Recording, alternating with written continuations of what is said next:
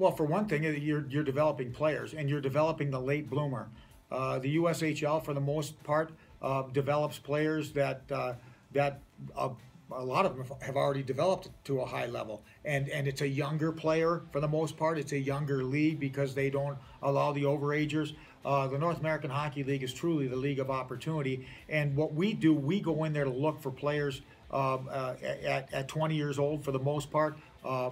players that have are, are late bloomers, late developers, those types of things. The other thing I like about the North American League product is when you get a you can question a lot of things about players that you get out of the North American Hockey League, but one thing you can't question is their passion to play the game because there's a lot of easier things to do than uh, to ride the buses uh, all over Texas or ride the buses all the way around Minnesota, North Dakota, South Dakota, Wisconsin, or to, or to ride the buses all the way around from Pennsylvania to, to New Jersey to uh, all the places that they play in the East. So you know one thing you're getting when you get a product, a, a boy from the North American Hockey League, that that that young man um, has a passion for the game. Well, the things that the league does a lot of things, uh,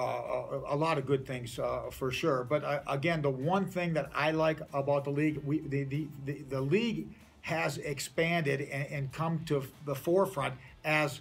as uh, the numbers of players uh, have increased in the United States. Uh, you know, now we are developing players you know, virtually, uh, maybe you exclude Hawaii and somewhere else, but uh, uh, every state in the union virtually is, is producing hockey players right now. There's more good uh, American born players um, now than, than there ever has, and those numbers are going to continue to evolve. And um, you know what the North American Hockey League has done, you know, in, in like in, in conjunction with the USHL, for the most part, is has provided quality places for these uh, prospects to go um, and, and to, to play uh, and to develop.